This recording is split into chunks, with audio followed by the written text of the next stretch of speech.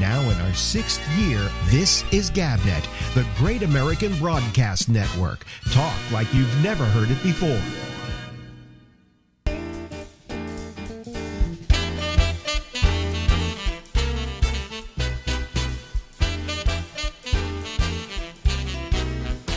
Hey,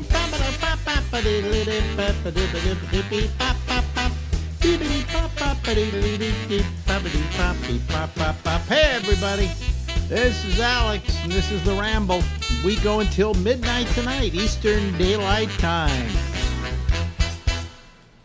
Ladies and gentlemen, out to the smoky orange skies of uh, San Francisco, California, we go to talk to Larry Bubbles Brown. Hello. Cough for us, Larry. Hello, Alex. we, uh, I think the last time I talked to you, we were talking about the fires out here, and uh, they Yeah. haven't gotten any better. Yeah. And this last week was the weirdest day of my life. I uh, they've been painting the building, Yeah. so I hear the painters outside, and I look up. It's pitch dark, and I look up. It's almost ten in the morning. so then I go out at noon, and it's it, it's as dark as midnight. There was that much smoke, and then fog fog had come in on top of that. So it was literally like midnight at noon. Oh, Jesus. That's It was it, very eerie. It, it sounds very eerie. Uh, I see pictures of San Francisco, and I see the Palace of Fine Arts, and of course it's orange to begin with, but everything Yeah. around it is orange too. You know, it's got to be got to be weird. Got to be very weird. Well, maybe it's the end of the world. It is. I think. I think this. We are just about uh, ten ticks away from the apocalypse. Um, really, I I'm- never never thought we'd be the last generation. Y- Yeah, yeah. I mean, uh, uh, it it just gets worse and worse. I mean, anybody who says this has nothing to do with global warming is Trump. Okay, uh, I mean, it, it's it's definitely a result of global warming. It's definitely um, a a you know you can you can talk about there's a big giant glacier uh, that's falling into the ocean. They, they say when it breaks off, and it could be any day now, the seas will rise 14 inches or something like that. All right? That would be a That, lot. that, if you don't want to talk about global warming causing that, okay, how, what, how do you account for all these fires? You know? I mean, this is not a natural occurrence. Yes, we do get a certain amount of fires. There's no question about that. It's part of nature. But, you know, this much? This bad? Well, they are bad, although they have found a couple of people actually set a few of these. So uh, I don't know. Well, they had that uh, gender reveal party.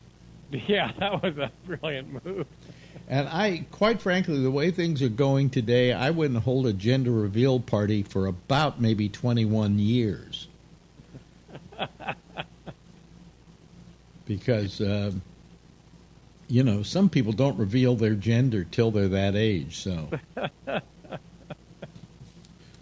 That's. Uh, I think we could. We're old enough. We could almost throw in a Christine Jorgensen reference. yeah, nobody remembers Christine Jorgensen. Stop it. My, I just remember my parents talking to me about that like in 1960. So Yeah. I wonder, I wonder, you, you probably know about that. what? J- Christine Jorgensen?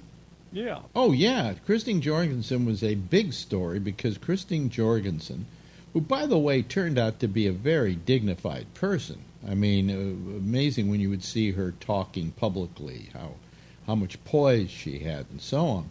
Was the first, uh, at least, acknowledged sex change in the United States.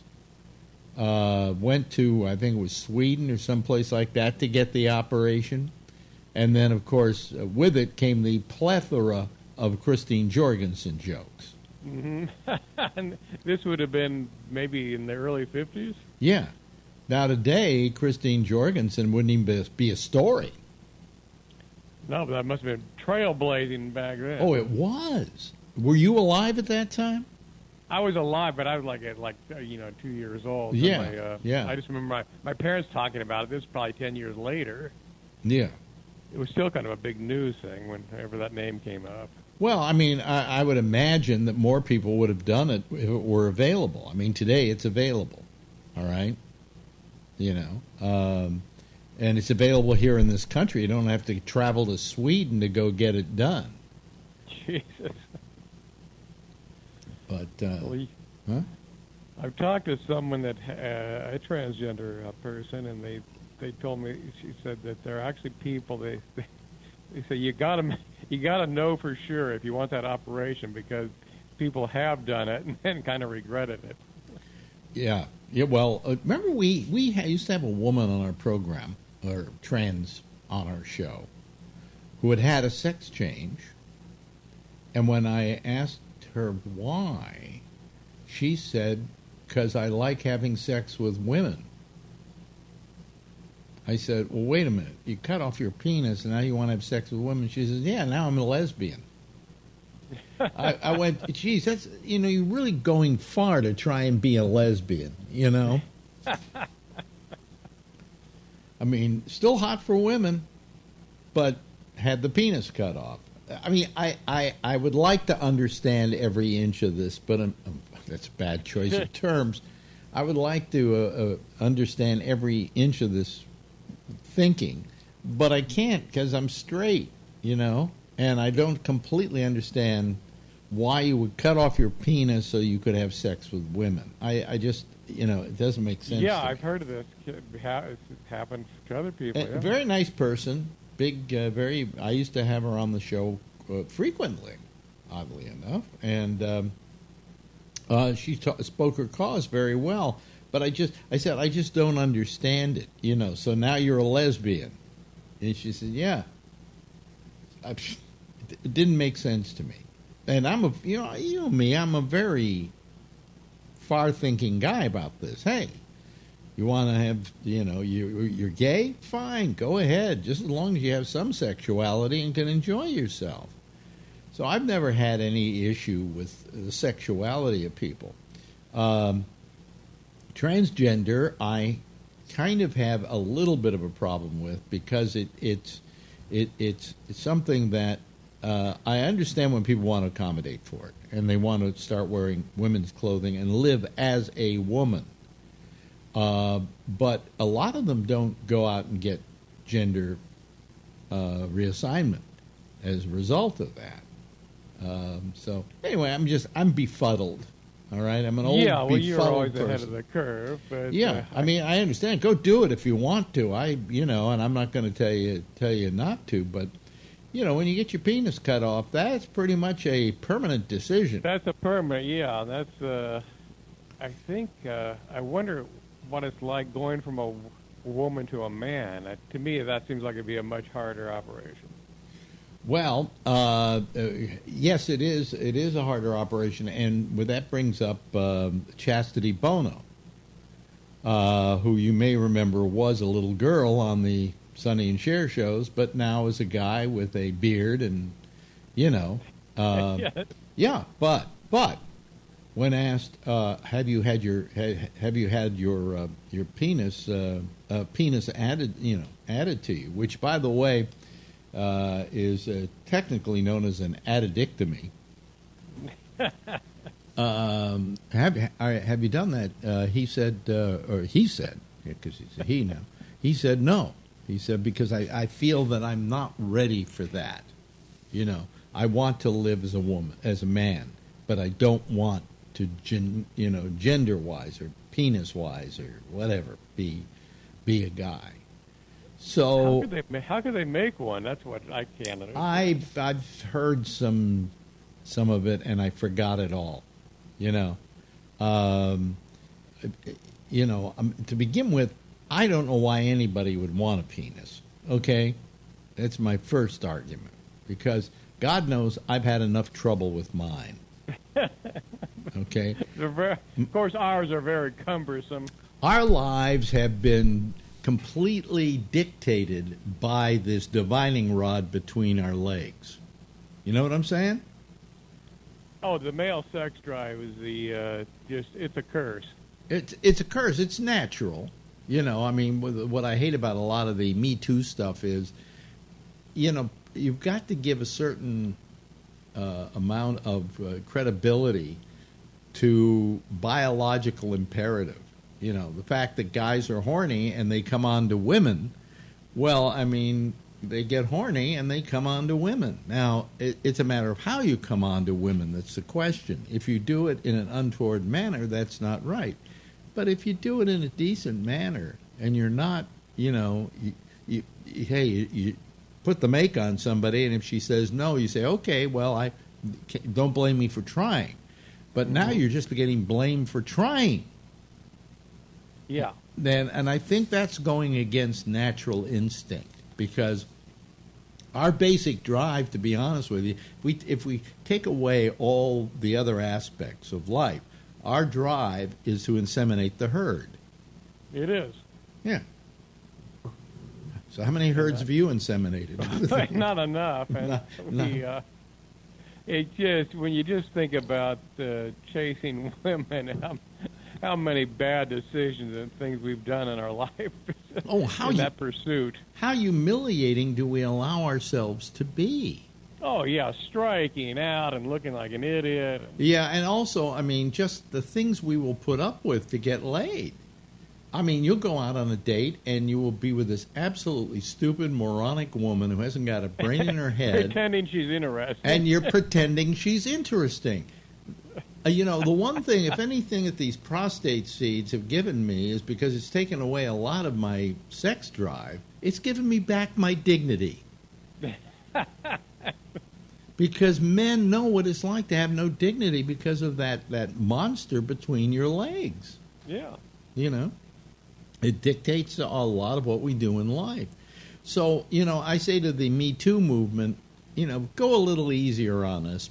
Uh, you know, when we act in a way that is terrible towards another human being, we should be assailed for that. But when we're simply assailed for coming on to somebody, you know, and or testing the waters to see if there's any possibility there. Uh, yeah, they could treat that as a disability. yeah, don't don't don't get mad at us. You know, I mean, I was mentioning the other day, um, uh, what's his name, Louis C.K., uh, who I think is a perfect gentleman, because before he pulled his penis out, he asked if anybody would permission. mind. You know, and Some I guys just pull it out. yeah, some guys just pull it out. He asked for permission, and nobody said no, so he pulled it out, and they sat there and watched. So, how, what did he do that was wrong? You know, outside of the fact that you know I I wouldn't pull my penis out in front of anybody, you know, unless it was in private. You know, but uh, but, and he it, since then he hasn't been able to work because of that. Yeah, and I just I started watching uh, Parks and Rec. He he was in some of the early episodes. He's really funny. Oh, he was great. His TV show, Louis C.K. show, was Louie was terrific, and then he produced a lot of other shows. Uh, uh, Better Things uh, was another show he produced, and that thing with uh, who, who was it with uh, Louie uh, Anderson? Uh, um, oh God, I can't remember the name of the show. And somebody I know what he, he produced that. yeah, he produced that. Wow. Yeah. Oh yeah, he, he was he was a major producer in the business. And then at the time this all happened, he had a movie coming out, and they immediately pulled it from release. Uh, a movie he had written and directed. So it wasn't a very good movie, by the way. But That's what I've heard. But do, do, will he ever come back? no, I you know not at this rate. N- if not in this climate. It, not in the, not in this climate. No, not at all. So you know, but uh, that's that's the nature of us. And yes, even even Bubbles is a horny person. Yeah. It's horrible. It'd be great not to. Our penises are like uh, in Doctor Strange. I Remember when he, was fighting his hand? Yeah, That's what it is. yes, it's, Got its own mind. yeah, yeah, yeah. You know, I mean, I, I just, uh, I'm, I'm, I'm amazed. Okay, that we live in this time where, uh, especially for you as a comic, I, mean, I was talking to Bobby Slayton about this the other day. Just this whole political correctness, it's ruined him. He can't do oh, I his would act. think so. Yeah. He can't do his act anywhere. You know, What he's going to do the Chinese routines? Uh-uh. He's going to do the uh, thing about women? Uh-uh. So he just said, "I've retired. I'm out of here. You know, I'll do my little." Uh, uh, what Someone it? told me that he's actually given up. Yeah, yeah, and he's just doing Skechers commercials, which is bringing in the money. So you know, that's it. The uh, possibly the greatest club comic in America. Uh, no question about it. And I told him what was terrible about it was, uh, uh, you know, he plays an instrument beautifully, and to think that his virtuosity will never be used is ridiculous. I said, get back out there, just do something. You're one of the funniest human beings on the planet. There's Oh. got to be an audience he can still play to. Yeah, yeah, and and nobody's ever accused him of anything except that, of course, uh, he used to stay at Jeffrey Epstein's place when he was in New York. But Oh, that's not, that didn't look good in the resume. yeah, when he called when Jeffrey Epstein got arrested, I didn't know that's where he was staying all the time. But he always told me he had this friend that he was staying with and who put him up in New York, and um, he called me up and he said, "Well, there goes my place in New York," and I went, "What?" he says, "Yeah, I Jeffrey Epstein put me up in this apartment he owned. You know, whenever I came to New York, because he was a fan." And I went, oh boy. He said, did you realize any of this was going on? He says, not a clue. Not a clue. So, whatever. Hey, listen, we've run out of time. What What an interesting, enlightening conversation we had about penises, We touched many bases today. including, including our own. Uh, anyway, I'll talk to you in a couple of weeks, Larry. You or I'll talk to you next. Well, I'll talk to you. Well, uh, for r- r- broadcast purposes, we'll talk to you next week. But we'll see in a couple of weeks. Anyway, ladies and gentlemen, Larry Bubbles. Yes, he's the Brown. Now in our sixth year, this is GabNet, the Great American Broadcast Network. Talk like you've never heard it before.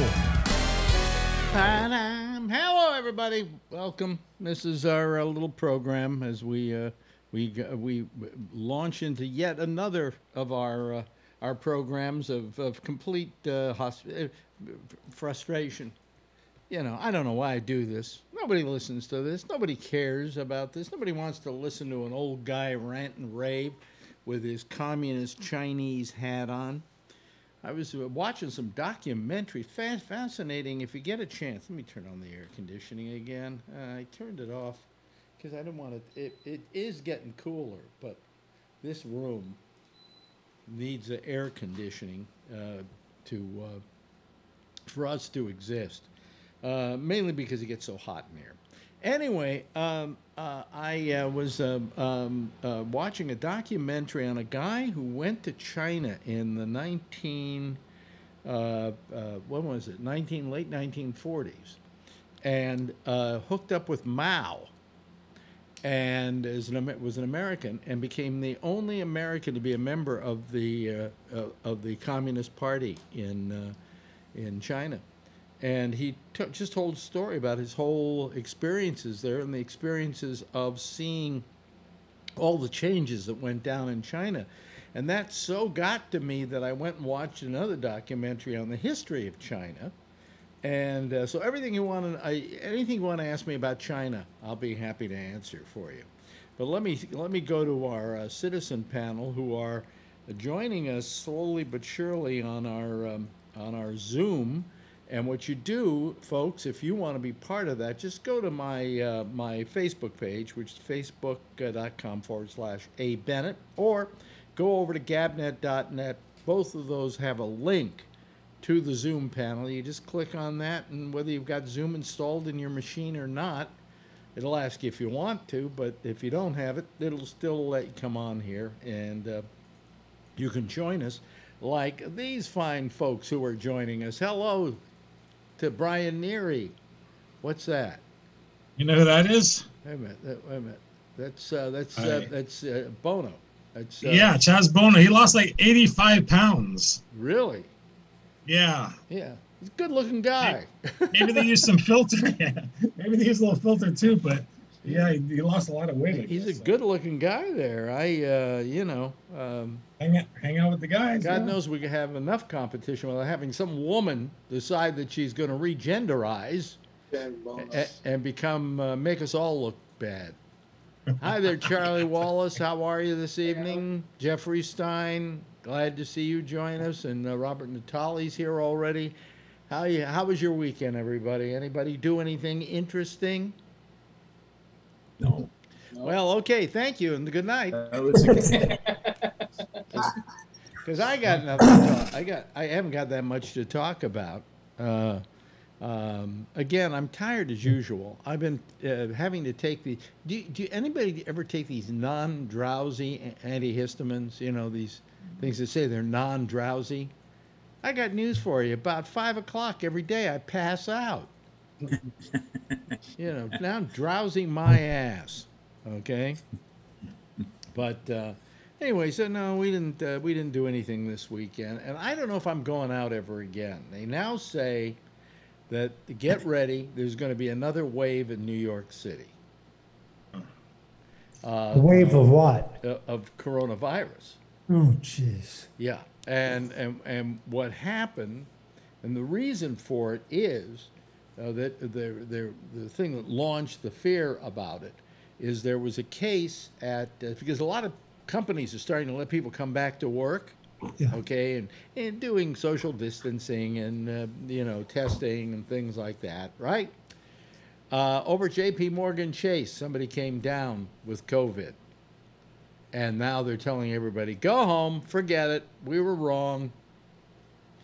Uh, and they say this is maybe the beginning of it. And today's numbers are not good. We had 11 deaths. We only had about 700 and, f- was 640 um uh, people um, uh, were hospitalized, but we had uh, we've never gone over one percent. We've been under one percent for like a month and two, a month and a week, maybe a little more than that here in New York City, which is pretty good. Uh, and we do about seventy-five thousand tests a day. Well, we hit one percent. So you know, it, it, I'm not feeling comfortable with what's going on out there, and I've been a little loosey goosey about, hey, okay, I'll go out to the store and I will go up to the mm-hmm. supermarket and I will do this and I will do that. I'm, I'm, I think I'm back to staying indoors again. You know, When did they start letting people in? Twenty five percent of the restaurants. Is that last week? and they haven't done that yet. They're supposed to start at the end of the month, oh. But at the rate this is going, here. huh? What? What? It You, started here it started there. in, Yeah. in Jersey. Yeah, And how'd it go for you people there? a little bit of a spike actually. Yeah. See, we can't until we've got a uh, what do you call it? A you know a vaccine. Vaccine. There's nothing we can, uh, nothing we're gonna be able to do about it. We're just gonna have to like stay indoors, and we're gonna have to wear our masks. You know. And I get so mad when I see people not wearing masks. It just irritates the hell out of me. You know. Trump And- just said again. Hmm? He just said again the virus is going to go away. Did he Did really? you see that, Robert, today? Yes, I did. He said it's going to go away, and they said, "Oh well." He said, "Well, yeah, eventually." And we're like, Oh, like, yeah, well, yeah, no shit. Course. Yeah, We're all gonna all die dead in the long eventually. No shit. Yeah, eventually, when there's one person left on the earth, and that, of course, we know will be Charlton Heston. Uh, Hey uh, Brian, the other good news for you is he said it's going to cool down. So Yeah, you guys We're- got no trouble. yeah, we're gonna we're gonna rake the 33 million acres of forest, Yeah. and we'll be fine. Yeah. get the rakes Yeah. out. It's going to cool down. You'll see. yeah. Well, they It were, already cooled down today. I love it how he is Mr. Science. I, I Yeah. really love how Yeah. he really. Mr. Wizard. Yeah. Oh man. And excuse me, I've got my allergies again. I don't know what the allergies are from because there's no pollen right now, but I don't know. So anyway, it, it yeah, it, we got an idiot for a president, uh, and um, man, I'm hoping against hope that he is not president much longer. Um, Still yeah, looking for the heart attack. yeah, y- y- yes, John. Yeah. I had this this weird feeling this weekend, and I was thinking, you know, if somebody if somebody assassinated Hitler, and we never had the Second World War, and there was never a Holocaust, Yeah. that person that assassinated him would have gone down in history as a terrorist. We would never have known that he, you know, that he was, you know, uh, uh, really saved six million lives and everything. But, well, but yeah. so that and what, what what that has to do with Trump is yeah. if I if I feel if I pray or whatever, I say I hope you get COVID and fucking die. Would is that is that something wrong with that? I mean, you know, you know what I mean? Well, mean, I don't people think I do don't that. think there's a law against wishing somebody dead. No, I know, but is it Um, morally wrong to, for someone Well, like that? of course it's moral. It's morally. Well, how many uh, people has Trump killed? Two hundred thousand. Of course, You know. of course, it's morally wrong, but so is Donald Trump. is- You know, I wouldn't so- turn you in. I, and I wouldn't turn you in either. Well, you know what? Uh, I have an alternative here to what we could do, and that is there's a theory that if you took a person, put him in the center of a football field, then had 100,000 people in that stadium all at one time wish him dead, that he would maybe he would die. So we have, you should have a day of uh, wishing death upon our esteemed leader. Uh, you know, but then we get then we get Pence. What kind of misery would that be? Uh, You know, Feels bad. I- Couldn't be worse. I think Pence is, is Trump's insurance against assassination. To be honest with you, I mean, what what- are you, are we going to accomplish anything by get, by getting rid of Trump and getting Pence? You If know, he's assassinated during while we're waiting for the election results to come back. huh? well, what if he? Bring him out here. What do they do? Uh, they've never had to do this, but let's say because he is he does have comorbidities. Okay, there's no question about it. Um, he is uh, fat and terribly unhealthy. Huh? Very ugly. Well, then you don't die of ugliness, but um, but let's just say he has a heart attack towards the end of campaigning because it's a stressful thing and drops dead. Or let's just say Biden does one or the other. Does the Yeah. person who's running for vice president suddenly become the presidential candidate? What is what is the rule on that? Because I don't think there is because the parties nominate the people using their own methodology. I mean, they Yeah. could say we're going to roll dice to figure out who's going to be the nominee, and then they would roll dice, and that would be the rule of that particular party. So, what would they do if, if think- let's say Trump dropped dead or Biden dropped dead before the election? Well, I know. guess we have an answer to that one, don't we? I don't know. That's that's a political question. I don't know. Well, I think the if party. Trump I is think still hmm? president, and then he dies, the vice president becomes president. Right. No, but, but, But while he's running, No, but, they're, but they're running now. You know, so who becomes And the it's up to whoever wants to become the next president. it's up to the Democratic Party. It's up to the up party. to the party. Yeah. They would have to decide who, who is going to be the person running. Well, who do you think the Republicans would run?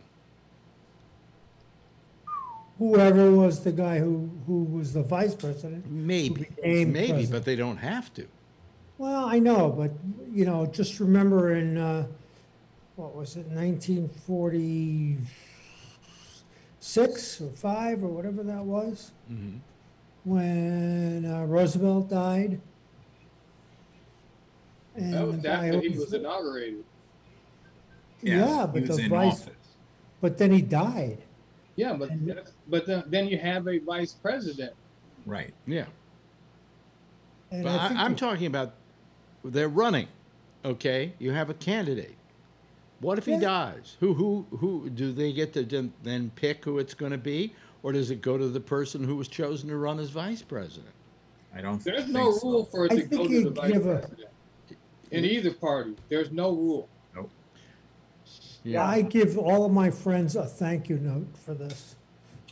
What, what, really? Okay. Look, If Trump dies, I, uh, under normal circumstances, I wouldn't wish anyone dead. Okay, No.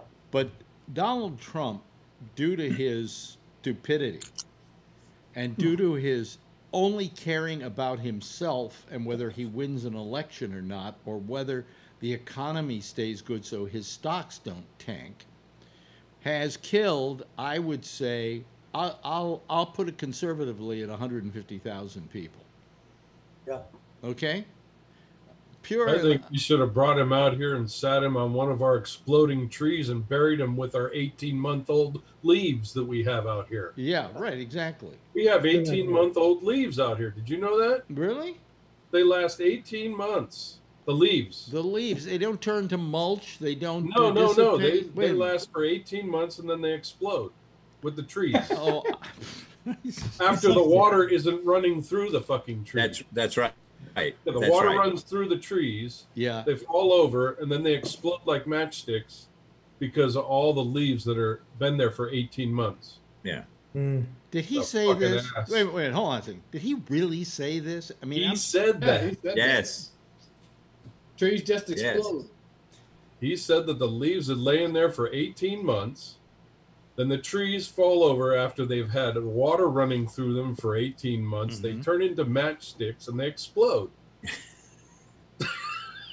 But it's going to get cooler. Don't worry. It's gonna get cool. Yeah, it's gonna get fucking dark tonight too. Jesus Christ! Oh my God, you're so smart. He's a fucking brain Exactly. surgeon. I'm voting for Trump. There's some UFO sighting in New Jersey. I don't know if that's a hoax or what. You ever, seen, you ever seen you ever seen a truck with the, the sign on the back of the truck that says "My lights are on because it's dark"? Oh, Charlie man. had his hand raised. Yes, Charlie. Yeah, I was just gonna point out that the reporter asked Trump, he said, if he after all of this came out with Bob Woodward, did he have any?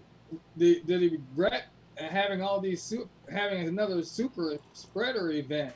Yeah, another rally, and Trump said, "No, uh, I- I'll be okay. Uh, they're all far away."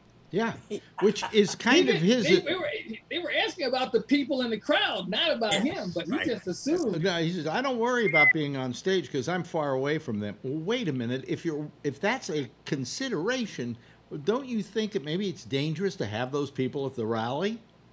Yeah. You know. And then Jared put his foot in Trump's mouth today too. Who? Jared Jared yeah. Kushner. Yeah. put his foot in Trump's mouth.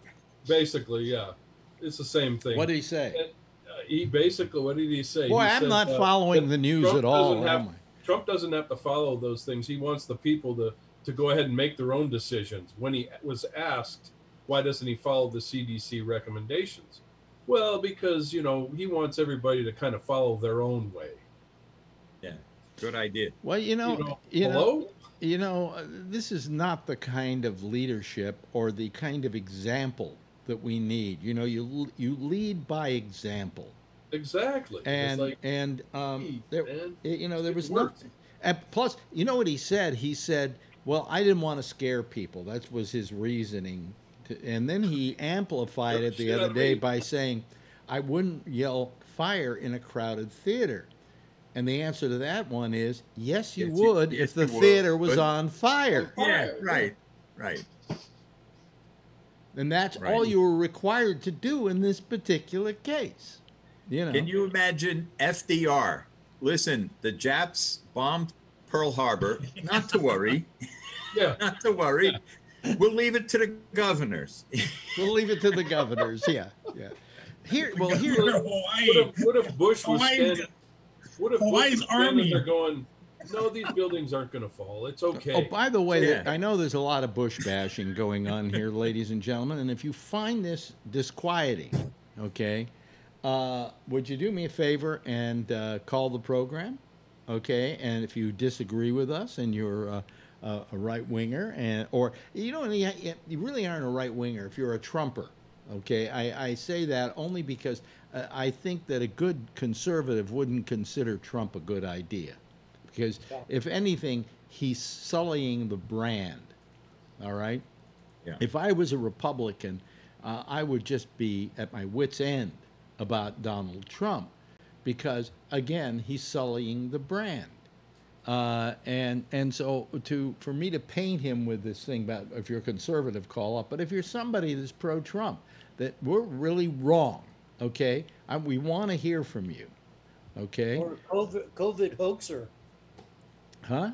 Yeah. A COVID hoaxer. COVID. or no, well, I mean, you know, and, and believe it or not, you'll be treated with very nicely here, uh, uh, unless you treat us like crap. In which case, Nelly closed the barn. You know, or I mean, QAnon people. Bring the QAnon people. Yeah. I mean, but if if it, you know, if you if you're a pro-Trump person, we'd love to hear from you, because the one pro-Trump person we had has decided, I guess, not to call this program. I have no idea where he is or what he's doing, but.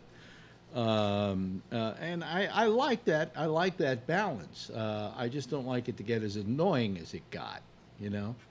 Um, but uh, you know, we respect all opinions, and we so if we you feel we're just a uh, we're just bashing him uh, uh, unquestionably, uh, you're welcome to call. The lines are open, and I'm not going to uh, I'm not going to prevent anybody from coming on who disagrees with us. Yes, Brian. Can we go back to the Japanese bombing Pearl Harbor? Because yes, the Hawaiian army would have to go take care of that under Trump, Yeah. right? Yeah. And they're Democrats, so we're not going to help them. Yeah. Yeah. Right. right. Yeah. Oh, right? man. That's the whole. That's the whole Well, thinking of him, you- right? you know the something- governor should take care of. it. When Trump became president, I, I said to Marjorie, you know the story. She woke up in the middle of the night and she said, "Well, who won?" And I said, "Trump." She went, "Oh my God!" And my first reaction was, "Look, let's just wait. He might surprise us. You know, he might He surprise us, and he did. Uh, but he might surprise us, and he might do the right thing. Okay, uh, so let's just wait and see. Well, I mean, he didn't. All right. Uh, and I, but I, I was willing to give him that chance and to say that, you know, this democracy somehow seems to survive a lot of onslaughts. So what could he do in four years? Well, the only thing I prayed about him when I said that was, is that with his lack of experience, that he hires the right people to advise him. And that if a major tragedy happens, or a war breaks out, or something where he really has to do his duties as President of the United States mm-hmm. to save American lives, that he'll do it. But he didn't. This was that great test. The COVID thing was the great test. It wasn't China attacking the United States. It wasn't. It wasn't the Russians coming over here and you know doing the Americans on us. Uh, you know, it wasn't. It wasn't anything like that. It was. Uh, uh, it was a a assault, and it wasn't from China, by the way. We're now finding out that COVID may have been here as early as the middle of December, Yep. and it only hit on December first in China. All right, so I mean, for him to even infer that this is a China virus is is absolutely ridiculous. In fact, I was, um, you know, I was watching these shows about China. And what hit me about it was that, first of all, this guy who was close to Mao and was an American who was charged with running radio, the radio station for the Communist Party for their American service because he was an American. And he got, he got to know Mao to a certain extent and and a lot of the communist leaders and Mao's big desire in the very beginning and he kept questioning him about this and so on because he was the expert about being an American was he wanted to know a lot about America because he said we want to have good relationship with America. We want to have an ongoing relationship with America. What soured all of that was here in America we were going through this whole anti-communist thing right? And so the first time we heard that the country was going communist, like China, oh, that's horrible. We don't want to have anything to do with them. And Nixon, who was then a you know big big anti-commie guy, uh, uh, made a big deal about it and said, "No way are we ever going to do business with these people as long as they're communist." Well, they wanted to be a communist democracy, and we so did them under that they soured on us completely. We we didn't come to terms with the fact that we could be friends with this nation and have them as a as an ally because they didn't want they hated the Russians. Absolutely hated. He hated Stalin. He didn't say so publicly, but he hated Stalin. And he, he didn't want to have to be subservient to Russia. He mm-hmm. wanted to be able to do business with the United States, who would then take care of Stalin. You know, um, it, we missed a big chance there. you know, and and what's happening now is this whole notion that because they're communists, the Chinese are bad and they're after us and they're trying to set, set us asunder and so on, is an old-fashioned, antiquated idea that has no basis in fact. That he and, and it seems this is the tone of his entire um, regime is and- and- if you can follow me on this, is taking old concepts and believing them again. Ones that have long since passed out of existence. And the China he's fighting is not the China that exists today. I end of my little speech. Anybody have anything to say? Well, that's true. And for that matter, you can take it a step further. Um, look historically at how many times isolationism itself became the, the thought of the day and how many times it proved not to work. Mm-hmm. And now you put yourself in 2020 where the world has totally shrunk, where information can be passed from here to China in in you know nanoseconds. And so more and mm-hmm. more this populist thing that Trump builds talking about America first. Well, okay, yeah, I get that, but this notion of isolationism it's it never has worked and it will work less now than ever before mm-hmm. so you know it, it just ties into that fighting yesterday's war you know And and he, he's working with old concepts. Yeah You know, he's working with old concepts. Uh, he he really believes that China now is the same China that was around back in the days of Mao, in the days of the Cultural Revolution, which was a dark time for China, and they did a lot of things wrong. But uh, th- this is not th that time now. You know, yes, uh, yes, John. Well, I, I think he's he's bought off by the Russians, and he needs uh, he needs an enemy, and you know he, he the Russians are his you know Putin's his friend now, so he needs to, you know, he's substituting China where where he should be, you know. Well, if you check, China seems to even to this day have no great love for Russia. You No, know, you don't don't hear about them cooperating on things together and so on and so forth. You know, uh, I mean, there are a lot of despicable things about about China, uh, about the way they're treating the you know the uh, who's the, who the who are those people up north? The Uh, Uyghurs, The Uyghur, Uyghurs, yeah. Uyghur, Uyghur, The Uyghurs. Uh, uh, you know, I mean, there's terrible stuff going on there. But then again, we do terrible stuff to our people and the people Yeah. in our country. Uh, yes, uh, Jeff. Well, Alex, you're the one who went to China. Mm-hmm. And I'm curious from your perspective, from actually being there, what, what did you feel that, that, that why the countries look are different? Well, I mean, they're different because uh, culturally they're different. I mean, they they are they have a different mindset. They also come from different histories. Um, but I find that if you go to Beijing, you would be very surprised that Beijing, outside of the fact that everybody looks Chinese, is not really a terribly Chinese city.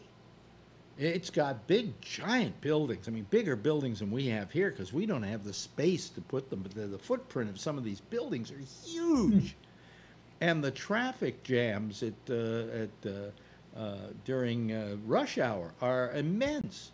Uh, you know, and then uh, uh, there are. Let's see here. I think there are five thousand to six thousand Kentucky Fried Chicken franchises in China. I mean, you know, so what's so different about China from the United States? But there is that cultural difference. But you know, Yeah. that that's that's that's a a minor consideration, believe it or not. Yes, Jeff. Yeah, what, what I always see about China today mm-hmm. is that, that we've really taken away a, a tremendous amount of our manufacturing jobs from the United States and gave it to China. Yeah. Uh, well, we gave it to China, uh, and China ran with it, and it has built a very nice economy for themselves. Yeah. Um, there's somebody in this documentary. Um, described what happened in China was adhering to market Leninism instead of Marxist Leninism. Uh, that that they now are basically they've shown that you can be capitalist for the uh, economically, but you can be communist politically. Uh, the only thing that they have a problem with, I think, is again, you know, when you get the old guys running the country as opposed to the new guys like we got here, they're working on old tapes, you know, things that they have been taught for years. And their way of running the country is if we don't clamp down and make sure that communism, we, communism is firmly installed in the country, and if we don't try to smash anybody who tries to change that, we're going to lose it all. Well, you're not going to lose it all if you're doing a job that if you're doing something that people want. You know, if the Communist Party hmm. is reacting to people and taking care of them and making sure that the tenets of communism, hmm. which is basically, uh, was, they had Deng Xiaoping in this documentary that I saw, and I, they ran the Mike Wallace interview that I keep referring to, in which Deng Xiaoping was asked by Mike Wallace basically, uh, but I thought you didn't like capitalism.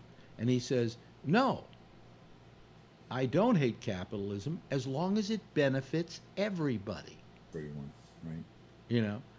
Uh, and when somebody once said to him in China, but, you know, capitalism is this enemy of communism. And he said, I don't care if the cat is black or white as long as he can catch a mouse. He said, and that's what we got to do here.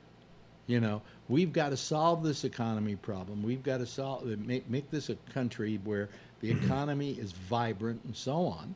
And if we have to use capitalism as that component, then we do it. And uh, uh, in that respect, he was great. Then, of course, we had Tiananmen Square, and he killed 1,600 people, or how many people died in Tiananmen Square. Uh, but, you know, uh, nevertheless, the whole concept was we'll do capitalism here, but we can still have communism there. And it does work. I mean, you know, but you've got to make sure that whatever you're doing benefits everybody. And the problem they have is they have such a big country that you get out into the you know out into the countryside, and you've got all these uh, people still working the fields, you know, in the same old way that they did centuries ago. And it's a little hard to say everybody's equal, you know, because mm. there are people in living in Beijing driving Cadillacs and you know Mercedes and uh, uh, having uh, huge apartments and you know, so it, it, it, it, it, it, it's a hard balance that they've had to come up with, you know. And as to whether they ever will, I don't know. But the, the Communist Party, I think, has to change the way they're doing business.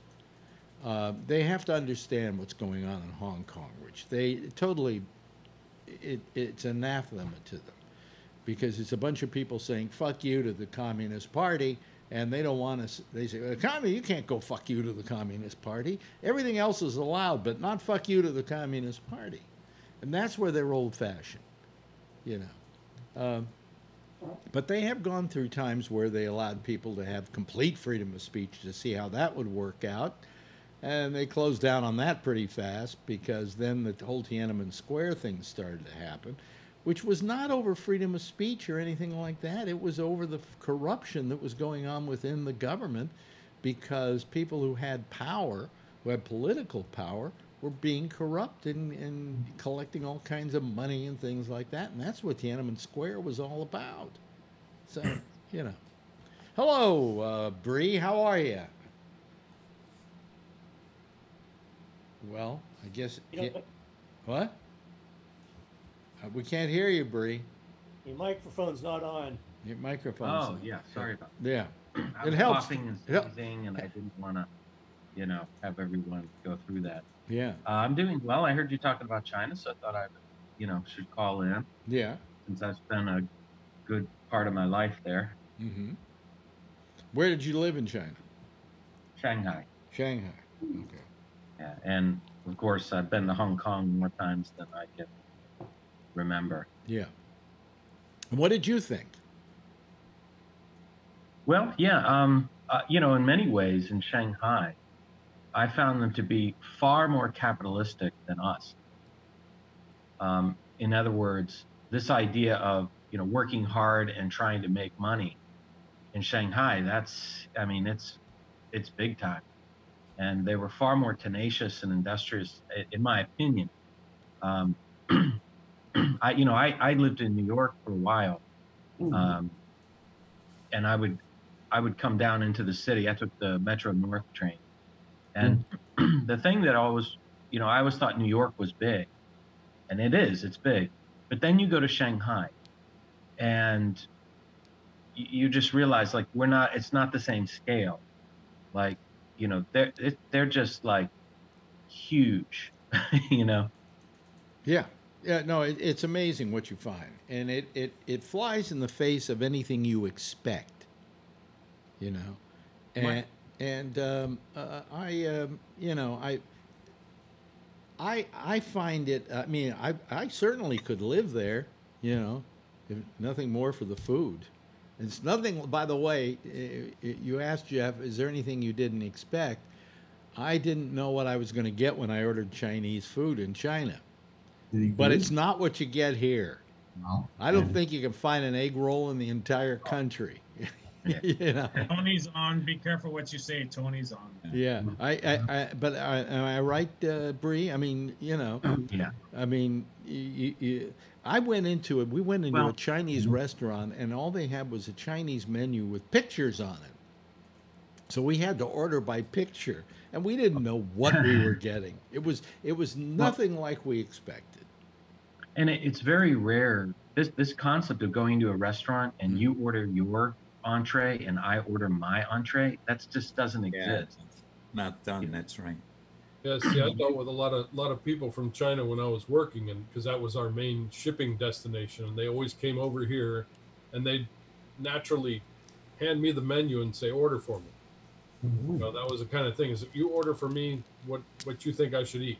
Yeah, yeah. And uh, you know, I was up in San Francisco all the time, so they loved whatever I ordered for them. But it was pretty, it was you know, and that's all I did was when they come over here, I'd just drive them all over San Francisco up to Coit Tower, and they just loved this shit. You know, was I was a tour guide every time they came out here, and then they'd go back and they'd send me back gifts and all kinds of crap. but you're right; they're very industrious, very, you know, they come over here and they wanted to work, and you know, you're right. Oh, they, they, they've instilled a, a, a um, an ethic into the Chinese people that you Yeah. know you, you work hard and make money. Yeah, You know, exactly. And, yeah. and they would they would criticize my employees. and I got people working with my wife; they're millionaires already. You know, yeah, you know. Yes, Robert. Um, my son has been living in China for the last well since January.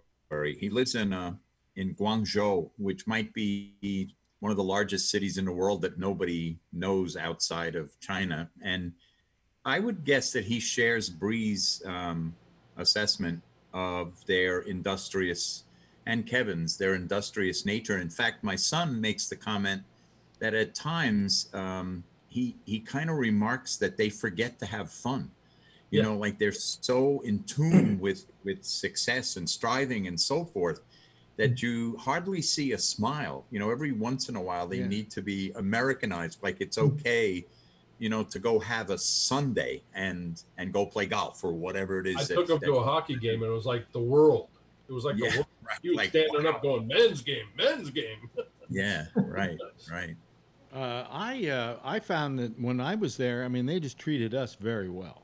I mean, Yeah. they um, uh, they they wanted to make sure that we went away with a great feeling about China, and we you know we we were put up in an apartment for two weeks. We she only went for three days for her conference, and then the rest of it was they put us up in an apartment, and. Uh, we it was like we were living in Beijing, and then we took about two, three days off and went down to um, uh, the uh, the Li River down in uh, I'm trying to remember the town now, uh, but uh, uh, you know to see those giant karsts, I mean, just beautiful. But it was one of the most memorable vacations I had with uh, some of the most Yeah, pleasant. I pe- never went. I never went, but they. I know they would have guaranteed me, you know, limo rides everywhere and the whole bit. Yeah, I mean, been- they would've just been first class. oh, they gave us somebody to go around as our translator and our guide. Yeah.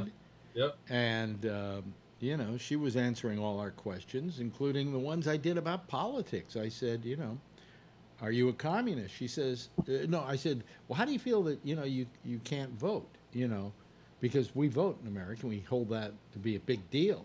And she said, well, I can vote if I want to become a member of the Communist Party. And she said, but I don't want to become a member of the Communist Party. Yeah. Find, find the way I am. And she says, I don't care about politics. She says, let them play their games. Let them do what they want to do. As long as I do okay, I'm happy. Yeah. Yeah. All he that's, wanted to do was exactly come over here and go to the Levi's store and stuff his. He wanted to stuff his suitcase full of Levi's and go back there. Yeah, yeah. I mean, know, they, if, they go to the. Oh, Robert. I'm sorry. If my son were on the panel, the other thing he would probably want to point out is that there's a distinct reason why they handled the COVID crisis better than we did. My son says, I'm as American as, you know, the day is long. But in the case like a COVID crisis, the authoritarian nature of their government made things easier. You know, it really did because the government said, okay, this is what you're going to do, and shut your fucking mouth and get it done. Yeah. And everybody had the app put on their phone so that they could be traced in case they got sick. Everywhere you went, you saw nothing but masks. And so he said, you know, I, I'm not one that's going to say I love authoritarian government, but in a there case like are this, moments such as this when it is to their advantage. Took care of shit. yeah. Yes, uh, John. Yeah, I, I think we could have done that here. You know, if if Trump or whoever, you know, just just said, look, you know, we've got to buckle down, and this is the way it's got to be. you know, and all these crazy people saying, "Oh, I ain't wearing a mask," then you, you should have said, "Look, if you don't wear a mask, you're going to get fined." You know, five thousand dollar fines. You know. Um, We have a fine. Yeah. We have a fine here in New York in the subways that if you don't have a mask on, you get fined fifty dollars. You know. should be more. Should be like a thousand. Well, I don't. I don't think they they could do that here because, you know, you got people that Yeah. don't wear seatbelts. You got people that use a commute lane, and it's still five hundred bucks. You drive down the commute lane, and they still do it. They don't You care. can drive. They get tickets. Yeah, they get tickets, but I know people that'll take the ticket because they get home Yeah. fast. if we had a president that was serious and he and he just said, "Look, you know, this is serious. but- but it's you- for you're- everybody. you- for that's the that's the big health." if here. We have a president. We have a big. That's the big if here. We have a president who didn't do a goddamn thing. Yeah, okay. yeah. Yeah, There's still no plan. There's still no plan. Right. no, It, Yeah, yeah. It's always been you. Well, the states handle it. States handle it. Well, States there's handle no, it. there's no Well, national. that's plan. ridiculous. We have a plan here in New York, and we've been been very good at it. We took we took a very bad situation and we bent the curve and turned it downward. Uh, we seem to be having a, a little uptick maybe happening, and we're worried about that. Uh, but I'm sure that our governor will ratchet it down. But what he did is he went on the air every single day, and he gave a press conference. And in that press conference, he gave a pep talk. And the pep talk was the only way we're going to turn this thing around is if we all wear masks, we all do our part. We're New Yorkers, and he had this whole mantra he did where we're New York tough, we're New York smart, uh, we're New York uh, loving. Uh, and he gave us a lecture every day and literally talked us into bending the curve and, and showed what a leader does when it's time for a leader to do something. Uh, he made a Yeah, few but the problem mistakes. is you're not in isolation, huh? and so it can come back. It can come back there every day. I'm sure it's coming from other they're, places. they're already in- starting to screw with that, Alex, out there in in New York. I mean, the schools are starting to screw with it. They're starting to go. They had to break up stuff in the parks out there and everything else these last few weeks. Well, that the problem is that the people are starting to get a little too lax now. Yeah, And exactly. and what it's going to do is that he's going to have to clamp down. He's hmm. going to have to close down the restaurants again. He's going to have Yeah. to even stop outdoor dining. He's going to have to stop a lot of things, and then everybody's going to yell and scream, and he's going to have to say, "Listen, you didn't do your job." You know, you've got lazy, and and that's what I was worried about because as I go out now, hmm. I go out with the intent of things are a little better, so it's safer out there.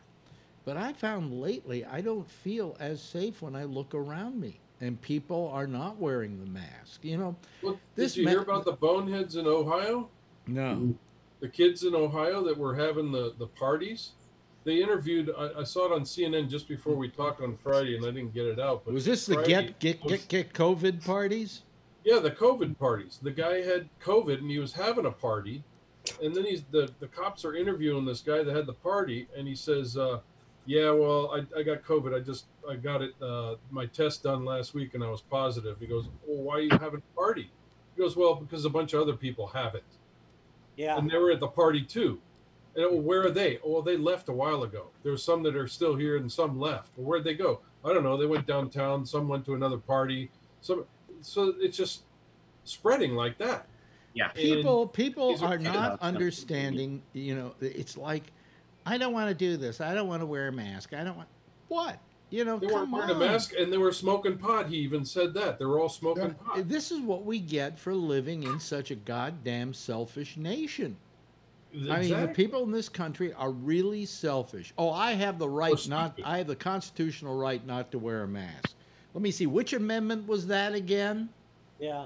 you know Or I'm just I'm young and it doesn't bother me. I'm not sick, so Well- it doesn't matter. Well, somewhere, you know, in the preamble of the Constitution, it says life, liberty, and the pursuit of happiness. Well, when you don't wear a mask, life is not a possibility for me, which f- closely follows me not having the pursuit of happiness or anything else, let alone being above ground. I mean, it's just, it's just, wh- why can't we say, hey, we all live in this place together. Let's all do something for each other, you know? Who's the Hey, most And selfish? drunk driving. What? I always come back to it. I always come back to Yeah. drunk driving. Y- Who- y- who- Yeah, well, I mean, So, so I got this app called Citizen, and it tells you when there's crimes going around, Mm-hmm. like in your neighborhood. yeah. It says here, a report ar- pers- report of person armed with machete outside my apartment. Oh, very Oh, good. come on. That would be, com- let's get some visuals. That would be nothing- common here. Well, All the selfishness, all the selfishness goes back to choice. Trump. you know, I, yeah, it, it, it- it well, he Quran. has created a selfish atmosphere. There's no question about it. Oh yeah. You know, um, again, a leader of a country like Trump, uh, a leader's job is to set the example and to protect the people. Those are his two jobs. And you set the example by just doing it. And all he had to do was say, hey, everybody, looks like this is not a good deal that's going on here. Good way to prevent it is everybody should wear a mask and go on the air and give a pep talk every day about wearing a mask and, and social distancing and, uh, you know, doing this and washing your hands. But no, he That- didn't do any him. of that. Did not, That's not do him. any of that. That's not who we have, though. And it Yeah, would that's so helped him politically. Yeah, Did you exactly. Hear about that goober that he put in charge of uh, communications at the CDC hmm to, to cover up everything? I mean, Yeah. God, that, that dude's got no Uh, you know- experience at all. He's If you think about it, though, Yeah. the Trump can really politicize anything, and he can sort of PR spin anything away, except for a virus and a major health pandemic. I mean, he's still trying, and a lot of people are still buying it. But with so many people dying, and there's no end in sight, it really exposes the flaws in his his thinking of, of what leadership is and how to lead. Well, who, who, who was the uh, who, who was the black uh, guy that died? It was his uh, ran against him for president. Herman Uh, Cain. Uh, what? Herman Cain. Herman Cain. Yeah. You're going to tell me that he isn't responsible for the death of Herman Cain? Yeah. Plain and simple, he's the, he's responsible for the death of the man. yeah. The man went to the went to the uh, Oklahoma City gathering. Perfectly didn't healthy. wear a mask because he didn't want to offend Trump, because Trump wasn't wearing one by example, and he uh, he got COVID and he died. Um, And you see, Trump is still going. He's still holding his rally. He has no I- I- shame. I, I just I, I can't fathom that except to say he's probably going to win And this shows the so many flaws in, in not only our Oh, political let me go. system, but our civil system. We can't, we're not going to make it. We're not going to make it this way.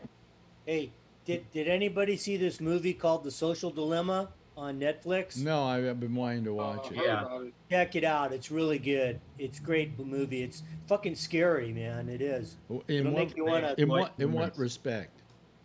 Huh? In what respect is it scary? Um, it's it's just about how social media has, uh, you know, has has just literally brainwashed the whole country, and it's brainwashing everybody. And uh, you know, it goes into politics, and you know how how you know how fucked up our politics is because of it. Yeah. You know, yeah. It- it's it's a it's a good movie. And then watch Cuties, the uh, pedophile movie. Oh, oh yeah, that it's the one that uh, what's his, uh, the, your guy down in Texas. Uh, who, who's your Yeah. who's your senator in Texas? Cruz. Cruz.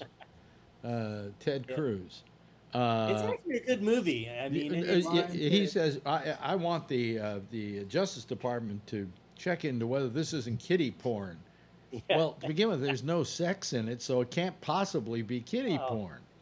But it's It- it- about it- But I went and took I went and took a look at it as a result. So he did a wonderful promotional job for them. yeah, yeah. yeah. Right. I, I, it looks boring to me. Was it any? Was Oh, it yeah. interesting? at- Was it interesting at all? Yeah. I mean, It's if you're, about- i- It's about what happens to little girls when they get, you know, when they get on the internet and they start watching the shit that they're seeing nowadays. That's just in our culture. and they it's get only natural. and they you get know? thrown into adulthood early, right? Yeah, yeah. Yeah. You Well, know, they start watching Neil like Postman at NYU wrote a book and all about that this shit. Yeah. years and Well. years ago called "The Disappearance of Child." And now I got to turn down the volume. um, yeah, I mean, we're uh, we're we're, uh, you know, I mean, I was thinking about it tonight, and I went, you know, I I, love uh, science fiction, and I've watched science fiction all my life, and of course, some of the best science fiction is the apocalyptic science fiction, where something happens in the world, and all of a sudden, I feel I'm living this movie. You know, I mean, what what? You know, right, Charlie? You're nodding your head yes. Yeah, that's where we are. We're in the middle of this apocalyptic science fiction movie. In which the end Yeah. of it is that the half the world loses the population, and the other half are like uh, animals foraging for food. Uh, you know, but on one end we've got we've got hurricanes and uh, uh, forest fires and, and, and ravaging, ravaging forest fires. Not just forest fires. Forest fires are a fact of nature, but ravaging forest fires caused by the denial of the science of global warming. Because if Yeah. this isn't a good example of what global warming does, nothing is. Okay. Yes, Tony. But the thing is, is it doesn't need you to believe in Yeah. it. Tony. Right. Right. Yeah, you know, you were saying it, it reminds you of a science fiction. Like, you know what this is reminding me of? The the novel. If by- you say Scooby Doo, I'm going to kill you. no, no, actually, the, the actually the novel by Stephen King, The Stand, uh, The Stand. Yeah. Yeah. Yeah. I mean, almost like the apocalyptic vision of the future where the virus is loose, it's airborne, But- it's good for people. but this is no movie. well, well, This is like- no movie. You know. And you guys Yeah. aren't in California. It's I even Scooby. worse in California because we had the heats, and today's the first day that we saw the sun's like outside. Do you know your f- smoke from your forest fires hit Manhattan today? Yep. We did, I know. Yeah. They were saying it was up in the upper atmosphere. Yeah, it was in the upper atmosphere, and the sun was a little, little Slow bright. burn to the end I of I think Thanks a civilization. lot, you guys. Hey, Brian. If you would have raked, What, We what, tried to rake. Yes, what tried Tony, to rake. Tony, what are you trying to say? no, know what I was the other thing was the brush fires. They never mentioned the brush fires, and I said, "Oh, well, we got to start watering the mountains now. there Yeah. Put sprinklers on on Sprinkler Altamont Pass." system. Yeah, anyway, let, let Tony. Tony was trying to say Something. Yeah, you know what scared me? What I was going to ask you guys out in California? Mhm. Are you scared with the air? I mean, I'm wondering how toxic that is. Yeah, Yeah. yeah, it sucks. We got to wear masks for the air now. Yeah. Yeah. I'm Literally. not made for that air. but Yeah. So anyway, so with all these things happening, um, the the denial of science seems to be the most dangerous thing that's happening right now. Uh, and uh, to that extent, for the first time in I think is 125 years of history, Scientific American Oh yeah. has endorsed a presidential candidate. Right. Yeah. Yeah. And they endorsed, of course, Joe Biden. And they said we have to do it because of Trump's absolute denial of science. Yeah. And that that we we need a president who is going to look at all of the science and come to some kind of conclusion that isn't just, you know, complete balderdash. And you know what I would say to Trump, Alex? He denies science, whatever it is, because I think it's bullshit with him. He said, Trump, when you get sick or if you get cancer, just drink some herbal tea. Yeah. Don't go to the doctor. Don't Well, do any look, of this. Tony, Tony, let, let, let's be very honest about it. I think the best question that that uh, what's his name uh, uh, asked him, uh, Woodward. Woodward asked him, Yeah. was, "Do you feel that you grew up with white privilege? That you grew up white and in the basically with this white frame of reference?" And that you don't understand anything else. And his reply was, "Oh, you drank the Kool Aid or whatever." yeah. But that was maybe the best question because that's exactly what's going on. This is a guy who is stupid by his own upbringing and Yep. his own environment. you know, he doesn't know from these kind of things. He doesn't know But- from science or global warming or any of this stuff. He, But in a way, in a way, Alex, uh, it might get so bad that science can't rescue us. So, in other words, we, we may end up in a place where it's just like, you know, kiss the rosary beads because we're Yeah. goners. That's the danger. Uh, it- it's getting that bad. And Yeah. the sad thing is, after they stopped everything in the middle of March, remember India and all these places, all these cities cleared up, all the air. Mhm. Venice, all the, the the water got clear, and they had dolphins going through Venice and stuff like that. And so quickly, can we flip that switch again? It's going to go back to that. I'm I'm waiting for the moment that we have this this uh, moment from uh, uh, uh, the uh, Hitchhiker's Guide to the Galaxy, in which all the dolphins decide to leave the Earth because it's about to come to an so end. So long, and thanks for And all the fish. So long, and thanks for all the fish. Right. It's just getting to that point where I see the dolphins just saying, "That's it. See you later." You know, Yeah. we tried. We tried to warn you. You know, but you wouldn't listen to us, so we're out of here. Good luck. You know, um, it is amazing. I think, uh, for for the most part, uh, that that any of this is is going on right now. And then you you know it's hurricanes, it's it's the fires, it's the denial of science and COVID, and uh, is there what else? Is are there any other factors? And that has caused that has caused a rise in criminality. Mhm. You know, I told Marjorie last uh, March, I said, if we're indoors much longer, the day people finally get to go outdoors, we're going to start seeing crime on the rise. And that's exactly what happened. Yeah. Because everybody just went crazy, you know. Um, Well, I, I thought that in the first few days of the pandemic, or the first weeks or so, I thought, you know, I, I'm wondering how how long the billionaires are going to take to figure out that if everything goes south, they're not going to be able to spend any of that money they've all got cooped up.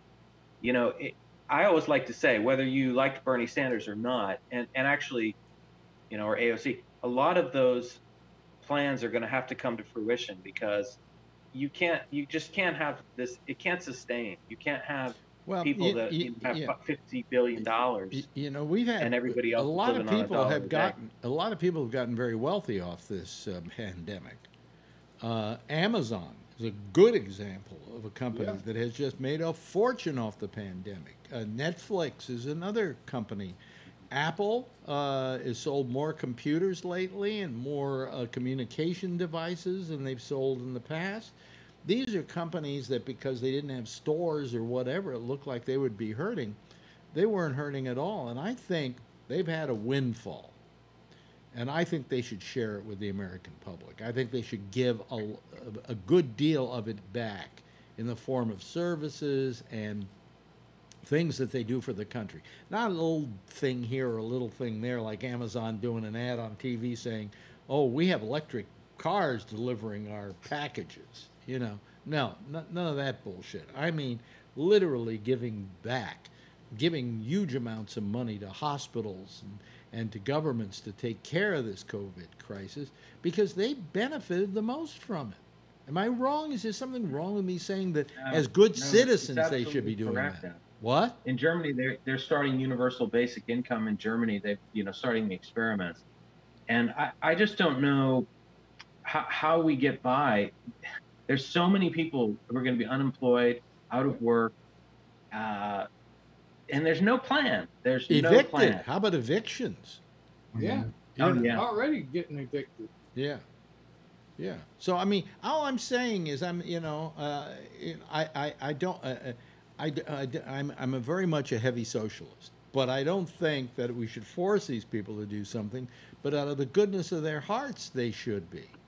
You know, they should say America needs our help now, and we've had a windfall profit as a result of this, and we should give some of it back. Am I wrong? I agree. I agree. Yeah. Should be a wealth tax, you know. I don't. I don't think we should have to put a tax on it. I don't. I, I think I would just like it if people would do what's right.